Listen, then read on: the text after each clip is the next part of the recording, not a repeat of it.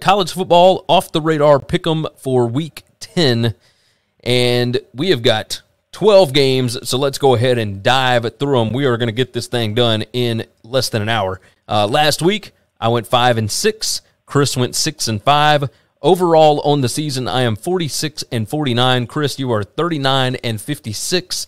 Uh, but with the amount of games that we pick every week, uh, I believe that both of us can get back over 500 before the end of the season, and it starts this week.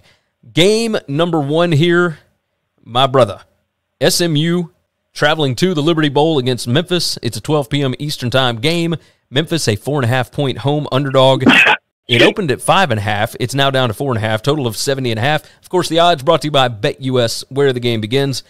There's a lot of chatter about Sonny Dykes really agreeing to the TCU job right now. I don't know that that's completely done, but it does make me wonder about SMU and whether or not they are fired up for this game. Uh, SMU won this game 30 to 27 last year. Before that, uh, Memphis had won and covered six straight in the series. Look, there's a massive mismatch here. SMU number five in EPA per pass on offense. Memphis's defense is number 105 in that regard. I don't know what the situation is with the Memphis quarterback, but I don't necessarily know that it matters here. I really like SMU minus the four and a half here. Granted, that depends on whether or not Sonny Dykes is still bought in uh, after that loss last week. If he has not already started packing to move, you know, 40 miles uh, west to head over to Fort Worth. What uh, what do you got on this one? I don't think guys do that. I don't. That's insane. That's insane. I agree. That's why I took way better.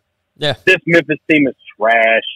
he's not gonna. He's not gonna quit coaching the team that he's got just to just to you know get ready for the job that he's going to coach next year. This still these wins still go on his resume, and if he starts losing games, that that goes on his resume. That's going to hurt him. So he's going to want to go in that Memphis game. He's going to beat the hell out of him. And guess what? He's going to beat the hell out of him. Memphis I, sucks. Silverfield's terrible. I tend to agree. I tend to agree. But like, does Memphis have to completely fall off the map for uh, for them to not keep Silverfield?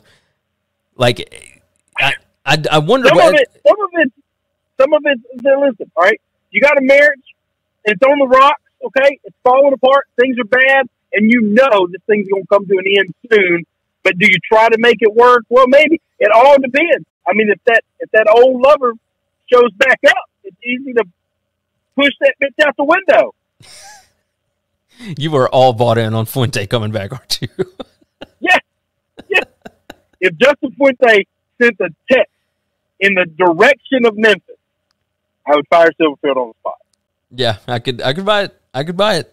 Thanks for listening to the Winning Cures Everything podcast. The website is winningcureseverything.com, and if you want to connect with us, we're on Twitter at Gary WCE, at Chris B. Giannini, at Winning Cures, or you can email us, Gary at winningcureseverything.com or Chris at winningcureseverything.com. Subscribe everywhere you need to subscribe, and we'll see you soon.